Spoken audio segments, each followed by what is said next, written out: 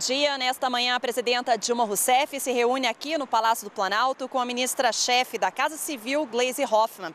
Às 7 horas da noite, ela embarca para o Paraguai para participar da posse do presidente eleito Horácio Cartes. Há cerca de um ano, o Paraguai está fora do Mercosul, desde a destituição do então presidente Fernando Lugo. A expectativa é que o Paraguai volte ao bloco agora.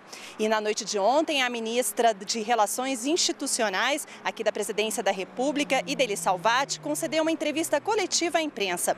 Ela disse que o governo pode entrar na justiça caso vetos da presidenta Dilma Rousseff sejam derrubados no Congresso Nacional.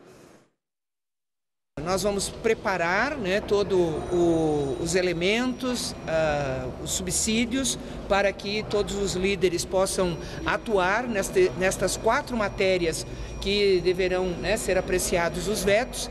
É uma matéria que trata do Pronatec, ProUni Pronatec, é uma matéria que trata sobre a desoneração da cesta básica, tem a do, do ato médico e do fundo de participação dos estados. Então são essas quatro matérias que estão trancando a pauta do Congresso. Então nós vamos trabalhar né, no convencimento, no arrazoado, nas explicações e se por um acaso o veto for derrubado, levar, será levado ao Supremo Tribunal Federal.